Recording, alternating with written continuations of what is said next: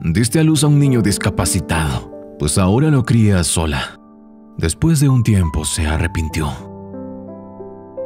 Catalina y Luciano se conocieron mientras estudiaban en una reconocida universidad de la ciudad. Era una de las más costosas. Ambos lograron entrar en ella, no en igualdad de condiciones. A Luciano se le hizo muy fácil el ingreso inmediato, debido a que sus padres eran personalidades muy reconocidas y valoradas en la sociedad. Su solo apellido era suficiente para escoger cualquier sitio donde hubiese querido estudiar. A Catalina, por el contrario, no se le hizo muy fácil aquel ingreso. Tuvo que estudiar muchos años y siempre ser la mejor y destacarse para lograr una beca que le permitiese ingresar en esa reconocida universidad. El día de la prueba final, prácticamente no durmió la noche anterior. Quería asegurarse de conocer cada una de las respuestas para alcanzar uno de sus más ansiados sueños. Tener una oportunidad era solo una de las cosas que necesitaba. El resto dependería de ella. Sus padres provenían de una familia muy pobre. Apenas les alcanzaba para comer y debido a esta situación, Catalina debía trabajar para colaborar. Eran muchas las diferencias entre ella y Luciano, pero desde el momento en que se conocieron, en el primer día de clases, sintieron una fuerte atracción que traspasaba y hacía olvidar la existencia de cualquier diferencia. Al poco tiempo de conocerse, comenzaron a salir el primer semestre fue maravilloso. A Luciano se le hacía muy fácil estudiar con Catalina. Además, era la excusa perfecta para siempre estar con ella. De pronto, cuando estuvo a punto de terminar su segundo semestre, Luciano recibió una llamada de Catalina muy temprano en la mañana. Se le escuchaba un poco asustada. Le temblaba la voz. ¿Te sucede algo, Catalina? ¿Cómo has estado? Oye, discúlpame que no te haya llamado desde aquella noche. No pienses que no fue especial para mí. No, Luciano. Te estoy llamando porque necesito hablar contigo algo en persona. Pero no seas tan mentirosa, Cata. Habla de una vez. Si necesitas dinero, sabes que puedes contar conmigo. No se trata de dinero, Luciano. No puedo decírtelo por aquí por teléfono. Necesito estar segura y verte a los ojos dijo Catalina mientras cortaba incómodamente la llamada. Del otro lado del teléfono se encontraba un Luciano muy molesto y contrariado. No entendía por qué debía ver a Catalina nuevamente. Él quería encontrar la forma de hacerle ver que ya no sentía lo mismo por ella. Todo eso de tener una relación formal comenzaba a fastidiarle. De alguna manera, sentía que le había quitado su libertad. Era un chico joven que apenas estaba por cumplir 20 años y quería disfrutar de su juventud sin ningún tipo de ataduras. Lo había escuchado infinitamente de sus padres y debido a cómo se encontraba ahora, lo podía entender perfectamente. Luciano quería viajar, ir a fiestas y vivir al máximo antes de comprometerse. Le fascinaba Catalina, lo que le hacía sentir cada vez que la tenía cerca pero aún no se encontraba preparado para solo estar con ella.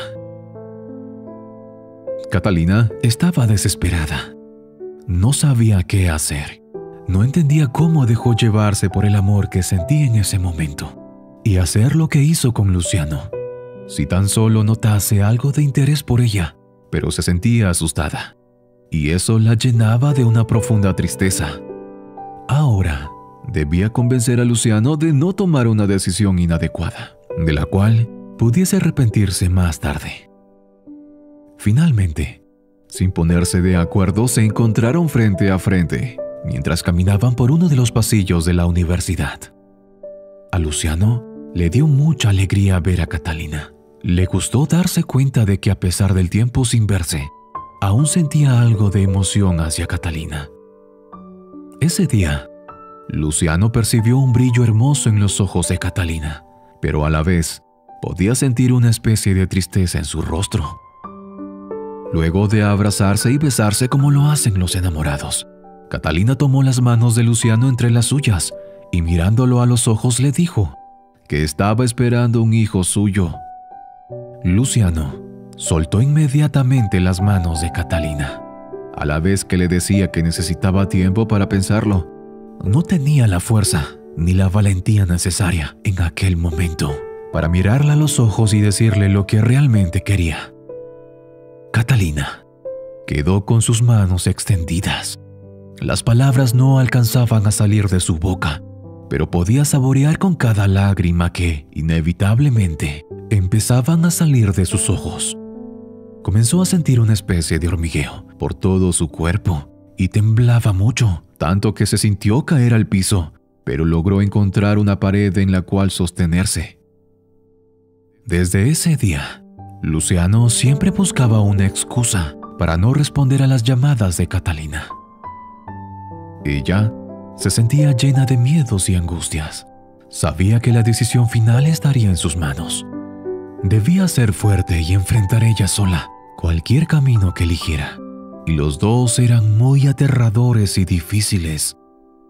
Luciano no quería hablar de la situación con nadie. Apenas tenía 20 años ni siquiera llevaba la mitad de sus estudios. No quería echar a perder su vida de esa manera. Todo cambiaría con un hijo. Esa idea era impensable.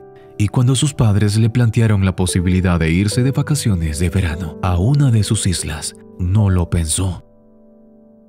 Un día, antes de irse de viaje, decidió contestar una de las llamadas de Catalina.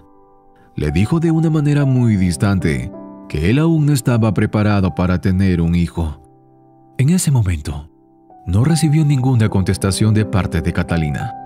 Luego de aproximadamente un minuto, pudo escuchar su respiración muy agitada, y luego ella le dijo que ya era muy tarde. Desde ese día no supo más de Catalina, hasta que regresó de su viaje. Luciano se sentía totalmente renovado lo primero que hizo al bajarse del avión fue pensar en Catalina. Se preguntaba si había tomado la decisión correcta. Luego de unas semanas decidió llamarla para saber de ella. No entendía los motivos que la habían obligado a abandonar momentáneamente sus estudios universitarios. Luego de varios intentos, consiguió hablar con Catalina. Su voz era muy distinta. Algo había cambiado, y Luciano comenzó a preocuparse. Catalina se escuchaba muy agotada a pesar del esfuerzo que parecía hacer para hablar con él. Se emocionó un poco. Quedaron en encontrarse en la plaza más cercana de la universidad.